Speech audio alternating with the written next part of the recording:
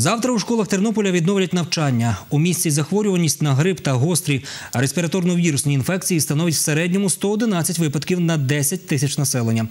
58 випадків недуги зафіксовано серед дітей. Карантин у школах допоміг знизити кількість хворих школярів на 21%. Відпрацьовуватимуть учні частково за рахунок весняних канікул по суботах, а також додатковими уроками. У місті все ще зберігатимуться обмежувальні заходи, зокрема масковий режим, адже ситуація нестабільна.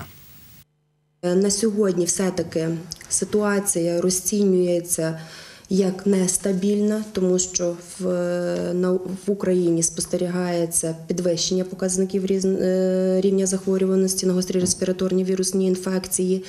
І беручи до уваги е, тісне спілкування, міграцію населення України, е, все-таки е, може бути завіс, е, контакт тісний, тобто е, все, все це будуть е, показники будуть. е, Та якби е, спостерігання, моніторинг буде щоденний проводитися. Ми будемо спостерігати за динамікою захворюваності щоденною, і вже інші прогнози будуть вам інформовані додатково про інші прогнози захворюваності. У нас насправді залишається складною ситуація.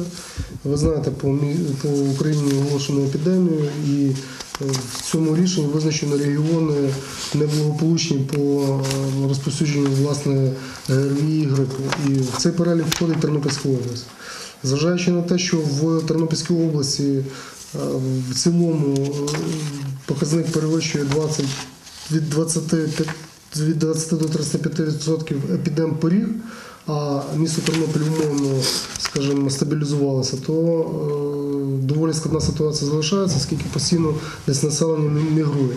У нас залишається складна ситуація. Ми стежуємо кожен день по людям, які потрапляють, які звертаються в лікувальні заходи і потрапляють в нас в госпіталізацію. Фактично також кожного дня е, госпіталізуються з різними діагнозами в нас е, хворі.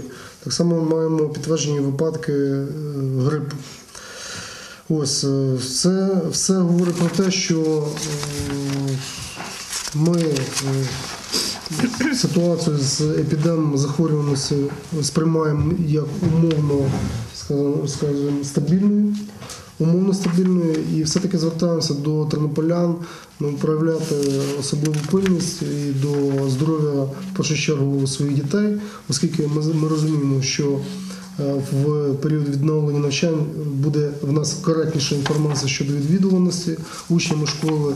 Ми будемо знати причини відсутності, відповідний діагноз і таке інше. Тому можливо в перші дні у нас цей відсоток дещо зростає. Ми до цього готові.